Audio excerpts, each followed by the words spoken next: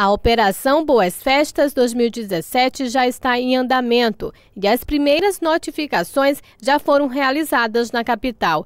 De sete estabelecimentos que foram visitados, dois foram fechados dois notificados e um deles foi interditado, levando-se em consideração que apenas dois estavam em condições de permanecer em funcionamento.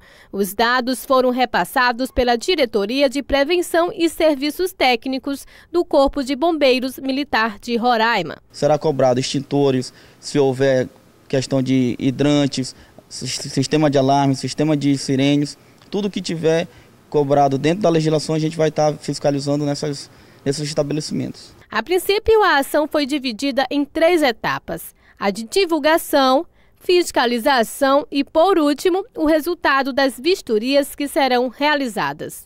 A ação do Corpo de Bombeiros Militar de Roraima objetiva verificar se esses estabelecimentos atendem às medidas de segurança previstas na legislação referente à obrigatoriedade do sistema preventivo de incêndio e pânico para preservar a vida e evitar danos ao patrimônio. Do dia 23 até o dia 1 de novembro vai ser a etapa de divulgação da operação, tanto para a sociedade como para os estabelecimentos que serão vistoriados.